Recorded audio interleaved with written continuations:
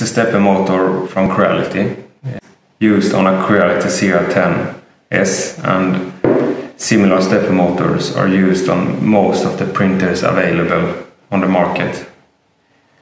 Uh, this particular step motor is used on the extruder itself for the Creality printer. We will locate where the two coils are located on the six pins up here on the connector. One coil or two pins working as a pair, which we will find by using the plier, like a plier like this. And I will try to place the plier between two, two of the pins and rotate the shaft. If we find a pair, we will hear it on the noise of the mo stepper motor.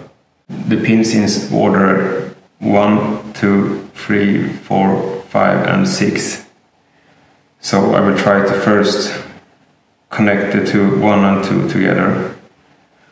And by rotating, we should hear a different sound if we find the pair. And here it's, we don't hear any difference from without it. If I take pin 1 and pin 3, we hear nothing. If I take pin 1 and pin 4,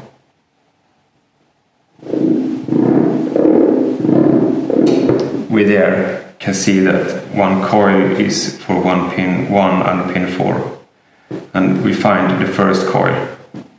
So we will do the same thing to find the second coil. Try it from the other side to find the other coil. So we, we do the same here. It was four pins apart for the coil 1 and then I will try four pins apart from the coil from the other side and there we have the other coil.